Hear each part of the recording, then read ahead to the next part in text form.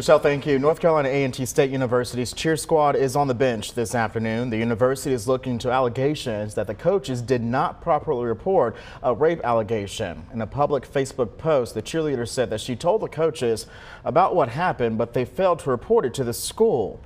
The cheerleader is now calling for those employees to be removed from that university staff. Tonight, the athletics department confirmed those coaches are still employed. The cheer squad will not be cheering at games this coming Saturday and Monday.